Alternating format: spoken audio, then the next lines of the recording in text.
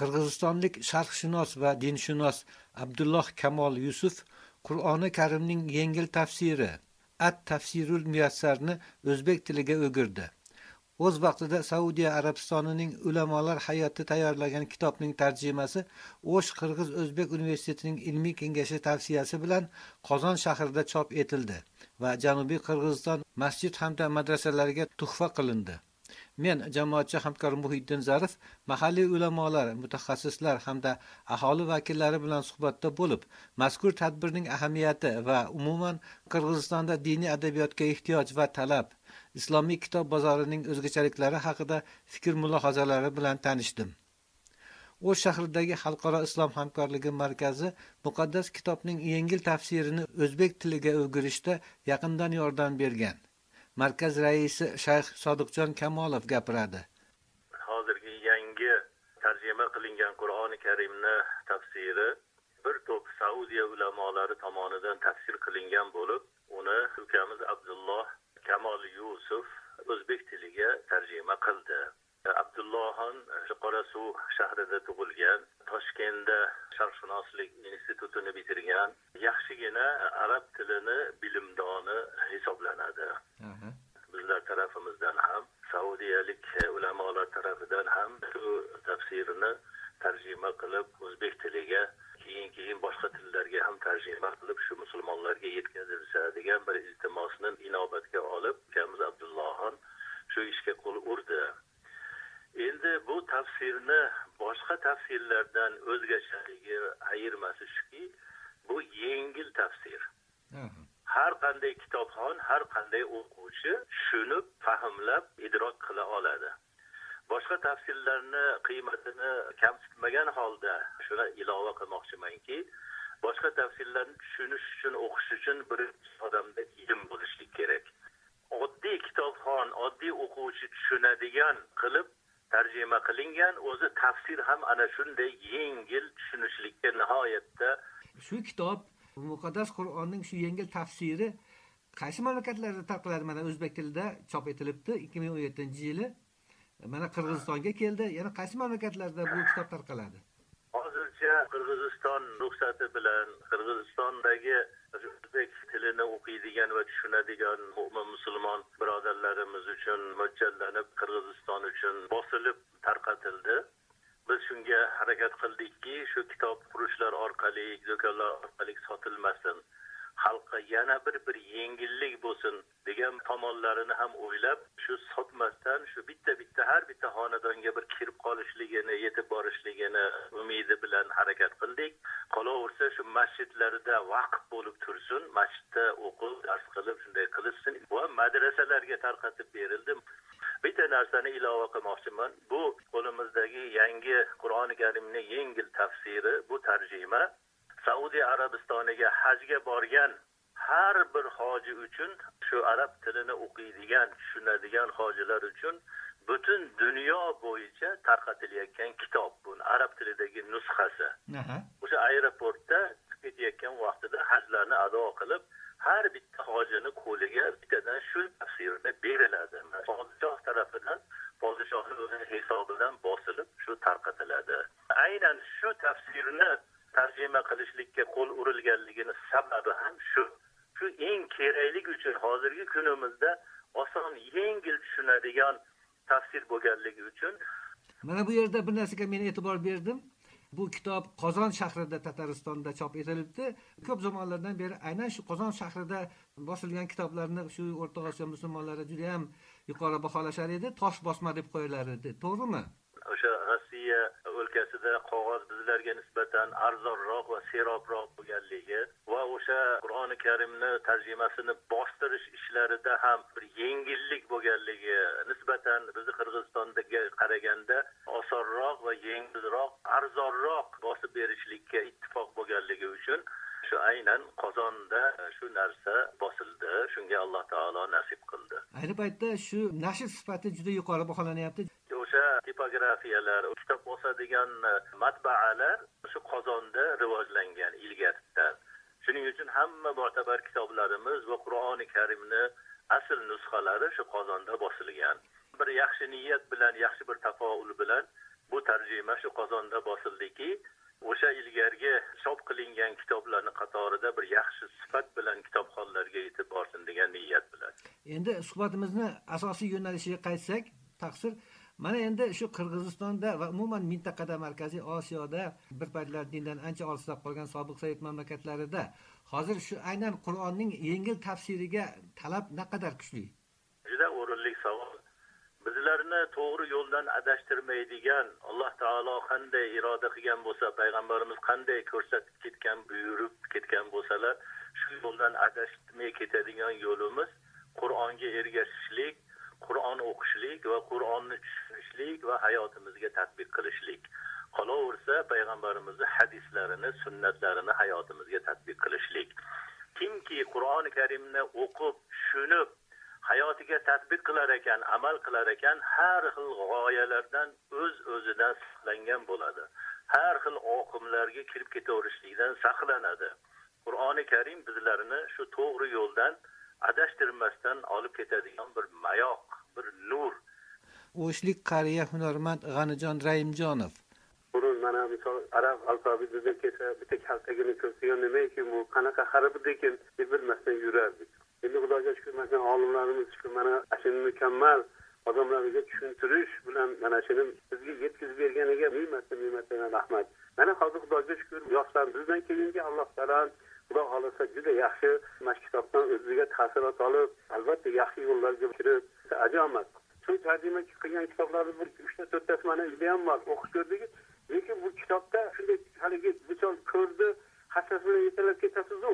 Buni mana shunday o'qib shunday tushunib oladigan judayam mukammal. Ayniqsa yoshlar ham o'qib turib ko'rib turib o'zi chiroyli tushunib ketadigan qilib qo'yibdida bunday gapirsak belvozi beliga balo qo'ysa qatirib mana mana bunaqa din islomni tayyor nima deyiladi pishirib qo'ygan ovqat tursa hozirgi solni qaynamasdan ustidan qilib qo'yibdi mana bu kitobni ichida. Qirg'izistonda ya'ni din erkinligi vijdon erkinligi so'z erkinligi bir muncha rivojlangan mamlakatda hozir diniy adabiyotga keng yo'l ochilgan. Diniy adabiyot yetarli do'konlarda juda ko'p bunday kitoblar. Mana o'zingiz aytib o'tib ketdingiz endi shunday imkoniyatlardan mahalliy aholi qanday foydalanyapti demoqchimanda. Ayrimlar aytadi shu kitoblarning ko'pligi ham haligi turli yo'nalishdagi kitoblarning ko'pligi ham odamlarni gangitib qo'yapti. Turli guruhbozlik tarafkashlik oqimbozlik avj olyapti deydi. Ya'ni shu kitoblarning ko'pligidan e, mahalliy aholi qanday foydalanyapti? Naqadar oqilona foydalanyapti deb o'ylaysiz endi amerika agar bunday bir ozgina ilm bo'lib tushungan odam bo'lib ilm bo'lsa o'zlari mana shu kitoblarni o'qib turib chiqarib olyapti o'zimdek mulohazani. Ha balli. Men endi katta kitoblarni o'qigan emasman. Endi o'rta o'zimga yetganli darajada kitoblarni o'qib ozgina bo'lsa ham tushunib birovlarga so'rab qolsa aytib beraman bo'lmasam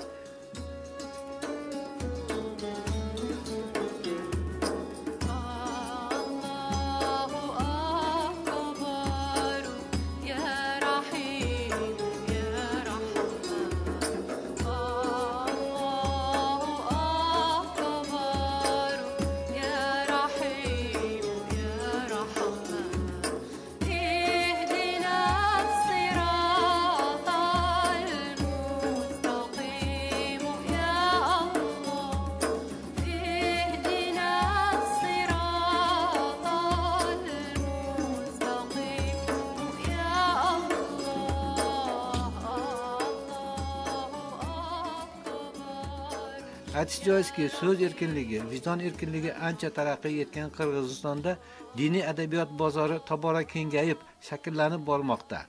Din ishlari bo'yicha davlat agentligining janubiy hududiy bo'limi boshlig'i isoqboy mirzabekov deydiki diniy tashkilotlar kitob nashr etish tarqatish olib kirish yoki olib chiqish huquqiga ega.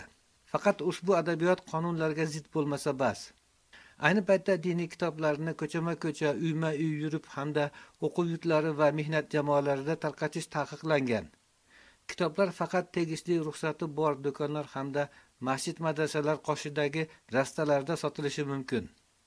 Demak odamlar o'zi konstitutsiyalik huquqi bor o'zining dini tanimini ruhaniy madaniy bog'liqliklarini saqtoogo o'zi tutungan dinni o'qib o'rganүүгө адамдардын укугу бар. Демек алар ошол жерден эркин түрдө китептерди алып окуганга укугу бар. Демек ал китептер сатылган жерде болуш керек да. Негизинен диний китептер диний адабияттар боюнча кыргыз республикасынын дин тутуу эркиндиги жана диний уюмдар жөнүндөгү мыйзамынын атайын беренеси бар.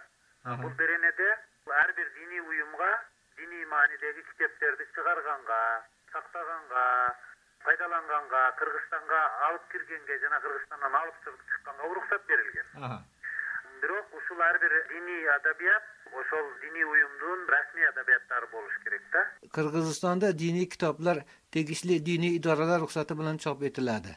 Din ishlari bo'yicha davlat agentligi ushbu kitoblarni ko'rib chiqishi va ekspertizadan o'tkazishi mumkin.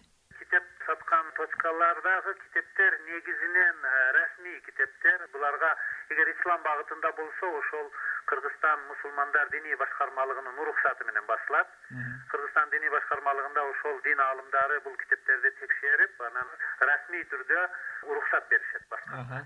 исламдык эмес башка диндер болсо мисалы христиан багытындагы диндер башка диндер да өздөрү китеп алганда же өздөрү китеп чыгарганда өздөрүнүн негизги баягы башкы уюму уруксат берген китептерди пайдаланышат да Э, дин bo'yicha боюнча мамлекеттик комиссия diniy adabiyotlarga din э, ekspertizasini таануу экспертизасын Aksar mutaxassislar nazarida Qirg'izistonda diniy kitob bozori hali tartibga solinganicha yo'q. Ehtiyoj yaxshi o'rganilmagan. Odatda ma'lumoti kam aholi kitob tanlashda qiynaladi. Do'konchilar man etilgan adabiyotni taklif qilgan hollar ham yo'q emas. Yaqinda bunday fakt tumanlardan biridagi masjid do'konida aniqlangan.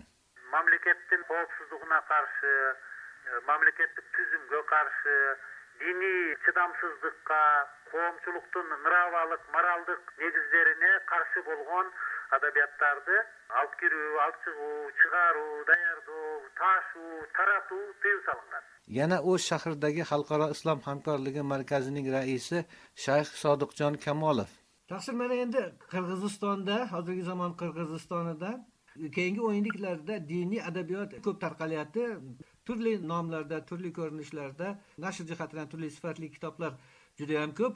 Endi shu kitoblarni tanlash san'atiga qanday siz baho berasiz demoqchimanda. Ayrim mutaxassislar aytadi, shu to'rkan kitoblarni olib o'qishaveradi, shuning uchun haligi hayollari tarqoq.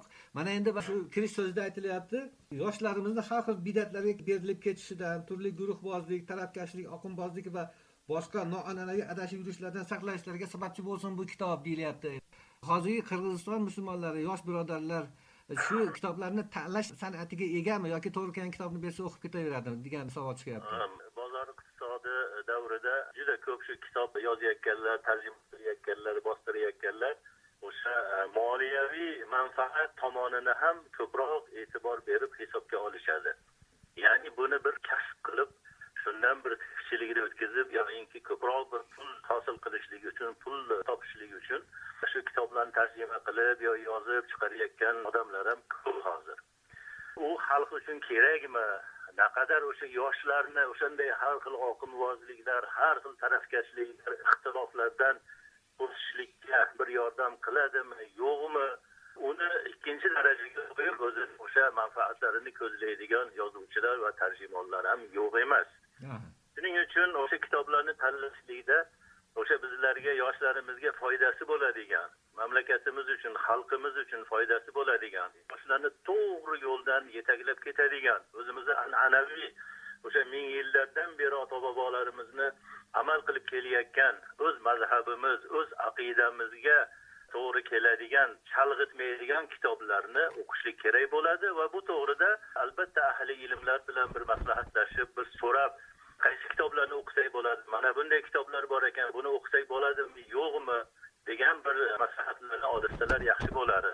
Bir hay'at e, tashkil qilingan mana shunday diniy bosiladigan kitoblarni bir qator ko'zdan o'tkazishib bizlarni qadriyatlarimiz bizlarni an'analarimizga ayniqsa diniy qadriyatlarimizga to'g'ri keladigan kitoblarni bosishlikka ruxsat beriladi. Bu tomoni anchagina yaxshi bo'ldi.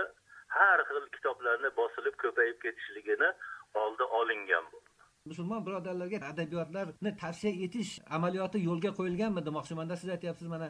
Mana oddiy musulmon birodar e, shu narsani o'qiyman desa kim unga shu mana buni tavsiya qilaman deb sizga bera oladi? Endi bu to'g'rida ham hozir albatta bosh qotirilyapti diniy idorada ulamolar kengashi tarafidan shu narsalar albatta yuzaga chiqib o'rtaga tashlanyapti hozircha mana ruxsat bo'lib kitoblar bosilib tarqab kitob do'konlarida sotilib bemalol istagan kitobingizni topadigan bir ahvolga kelinyapti. Endi hamma ish sekin sekin bo'lar ekan. Hamma narsa shu mustaqillikni sharofati bilan bo'ldi. Qo'shni o'zbekiston davlatida ham shu narsalar yaxshi yo'lga qo'yildi. Mana hozirgi vaqtlarda shu kunlarda qur'on musobaqasi bo'lyapti mamlakat miqyosida. Diniy kitoblar juda ko'p tarjimalar qilinib o'sha biz aytgan hay'at asosida davlat tomonidan musulmonlar idorasi tomonidan hay'atlar tuzilib tarjimalar bo'lib xalqqa tarqab shunday bo'lyapti. Bizlarda ham sekin sekin sekin sekin shu narsalar yo'lga qo'yilib xudo xohlasa yaxshi bo'ladi. Hoji aka oxirgi savol mana keyingi o'n yilliklarda janubiy qirg'izistonda va aynan qorasuv shahrida shu musulmonlar uchun muqaddas kitoblarni o'zbek tiliga o'giruvchi mutaxassislarning o'ziga xos maktabi shakllangan. Mana qator olimlar shu yerda faoliyat yuritadi. O'zbek tiliga qur'oni karimni birinchi bor aynan qorasuvlik aloviddin mansur janoblari tarjima qilgan edi. Qur'oni karimning yengil tafsirini ham aynan qorasuvlik olim abdulloh kamol yusuf tarjima qilibdilar. Shu qorasuvda shakllangan diniy kitoblarni o'zbek tiliga o'girish bo'yicha maktabni faoliyat haqida ikki oz gapirsakda nega aynan shu qorasuv shahrida shunday maktab yuzaga keldi demoqchimanda? Shunday kadrlar shunday mutaxassislar mavjud. Judayam yaxshi savol. Bu qorasuv bilasiz ilgaridan ko'p ahli ilmlar fozilu fuzalolarni shahri bo'lib kelgan. Qorasuv go'yoki bir markaz bir shahar bo'lib kelgan. Kelgan poyezdlar toshkentdan qo'qondan qaysi joylardan kelsa qorasuvga kelar edi ulamolar shu qorasuvga tushib buyog'i o'sh buyog'i o'zgan va hokazo ketishar edi. Mana shunaqangi bir e, kichkinagina shahar bo'lgani bilan bir markaz bir joy bo'lgan. Juda ko'p ulamolar qorasuvda to'xtar edi kelib qarshi shu inqilob vaqtlarida stalin davrlarida repressiya davrlarida ham juda ko'p ulamolar hofizi qur'onlar boshqa shaharlardan boshqa yurtlardan kelib shu joyda qo'nim topib qolishgan. Qorasuv xalqini ko'p ahli ayniqsa ahli ilmlari ana shunday fozil ulamolarni fozil kishilarni avlodi bo'lib hisoblanadi. Shuning uchun tabiiy suratda ahli ilmlar o'qish o'qitish ilmga qiziqish boshqa shaharlarga nisbatan qorasuvda kuchliroq shuning uchun o'sha tabiiy suratda o'sha tarjimonlar olimlar mufassirlar chiqib kelyapti. Alloh taolodan bu ishlarni bu ulug' ne'matni yana davomini nasib qilishligini tilab qolamiz. Qirg'izistondan amerika ovozi. Radiosi uchun muhiddin zarif.